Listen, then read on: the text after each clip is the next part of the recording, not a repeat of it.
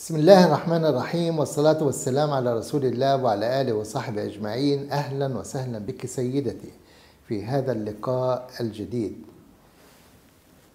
المؤشرات التي تعطى لجسم الإنسان مهمة جدا جدا. وكما يقول المثل قبل أن تقع الفأس بالرأس يجب أن ننتبه لهذه المؤشرات ودلالاتها ومعانيها لأن إذا وقعت الفأس بالرأس قد إيش؟ في بعض الأحيان تكون الضربة قوية وتعمل لنا مشاكل عديدة ليس فقط على المستوى الصحي بل تصل أيضا إلى المستوى الاجتماعي أيضا. واحدة من هذه المشاكل التي لها بعدين بعد صحي وبعد اجتماعي وأيضا يعني خلينا نقول ثلاثية الأبعاد أيضا لها بعد نفسي البعد الثالث هي مشكلة البرود الجنسي لدى السيدات. هذه المشكلة أيضا لها مؤشرات.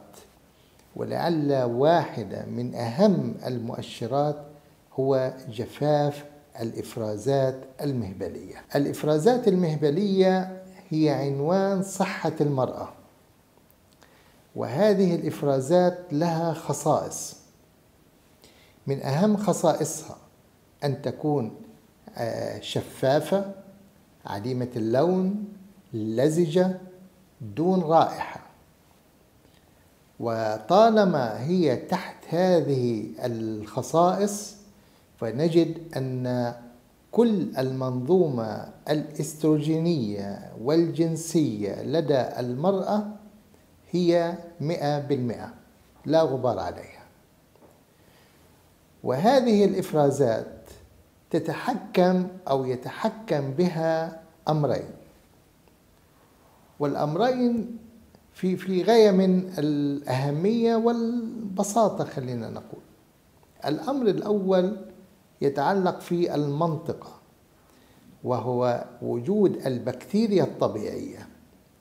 يجب أن نؤمن دوما البكتيريا الطبيعية في هذا السياق في هذه المنطقة.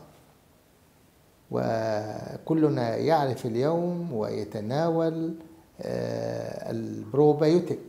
ولديها الحمد لله أصبح يعني تداول وشهرة كبيرة.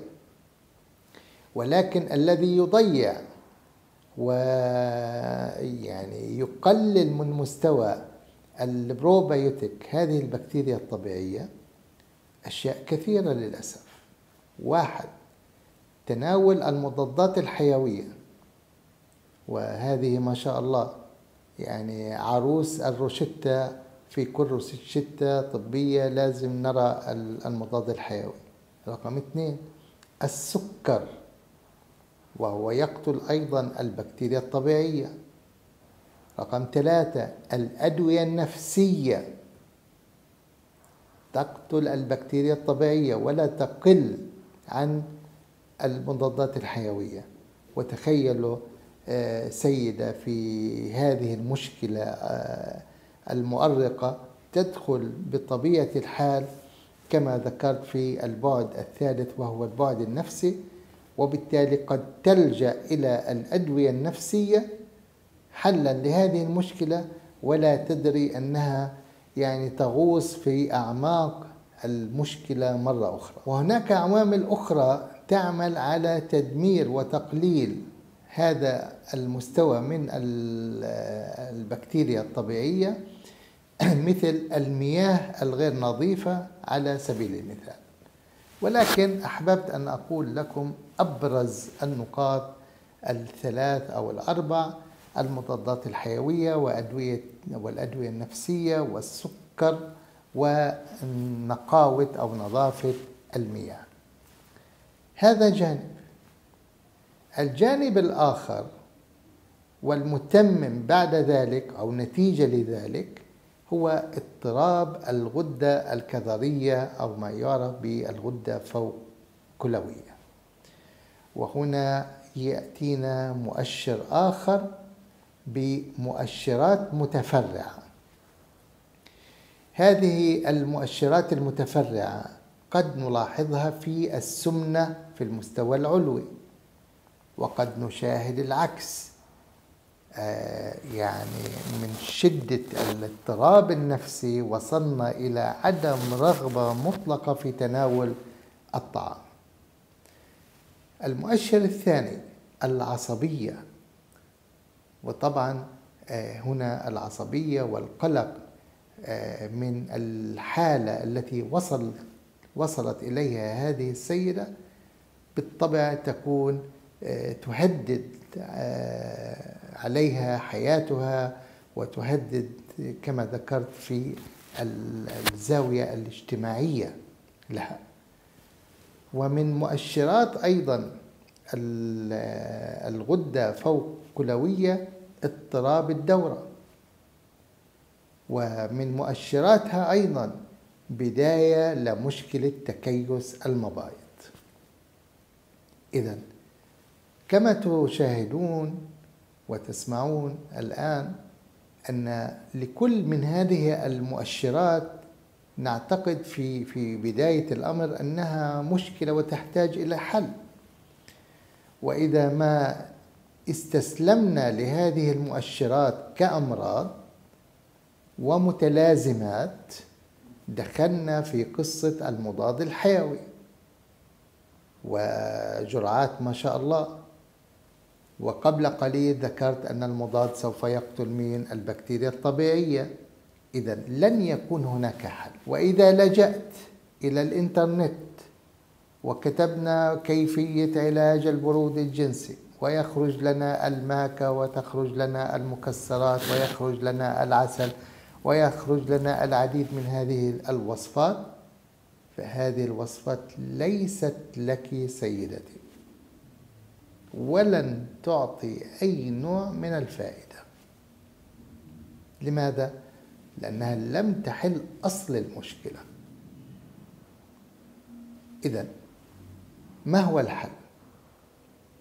الحل ببساطة أولا يجب تعزيز آه، إفرازات المهبل يجب أن تعود إلى وضعها الطبيعي هذا رقم واحد قبل البدء في أي شيء. يجب أن تعود هذا الجفاف يجب أن يحل. وإذا لم يحل لا يوجد حل.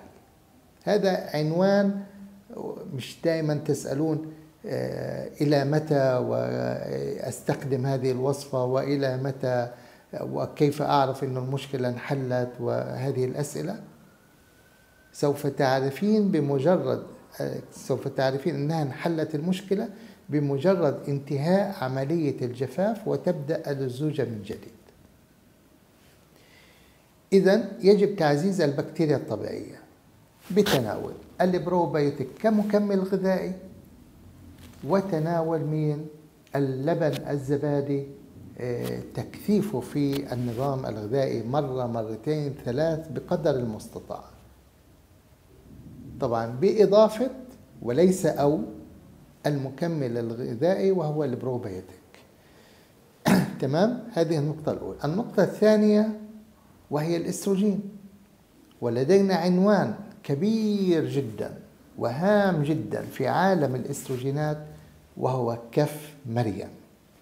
رائع جدا. هذه الكتلة نجدها ك كالأصابع لذلك سميت بالكف. تعرفون منظرها وإن شاء الله يعني تشاهدونها الآن أمامكم على الشاشة. هذه كف مريم ممكن تقطيعها ممكن طحنها واستخدامها كمشروب آه، شاي في مرتين في اليوم إلى ثلاث تعزز الوسط الاستروجيني من ناحية تنظم الغدة الكظرية فوق كلوية تحارقة للدهون وبالذات على المبيض وعلى الكبد وعلى الرحم تمام؟ إذا هي تعمل بمنظومة خرافية صراحة إبداعية هذه كف مريم. ويجب يعني الاهتمام بها آه، للجميع صراحة. وكمبدأ وقاية. وكمبدأ وقاية. على الأقل نشرب كوب آه، ليس كل يوم. لو نشربنا كوب من مغلي كف مريم مرتين في الأسبوع كمبدأ وقاية لن تكون هناك إن شاء الله مشكلة في هذا الجانب بالمطلق. تمام؟ إذا الخلاصة أن عنوان البرود الجنسي ودرجته هل هو قوي متوسط أم ضعيف؟ الإجابة في مدى جفاف الإفرازات المهبلية فإذا كانت جافة جدا فالبرود قوي جدا وإذا كانت متوسطة فالبرود متوسط وهكذا. تمام؟ وهذه الحلول وإلى آه، متى نستخدم مشروب أو مغلي كف مريم حتى ترجع اللزوجة كما كانت في عهد آه، زمنها. تمام؟ وحينها نبدأ بالتقليل من شربها وتكون كمبدأ وقاية كما ذكرت مرتين في الأسبوع. ودوما نتمنى لك سيدتي دوام الصحة والعافية. والسلام عليكم ورحمة الله وبركاته.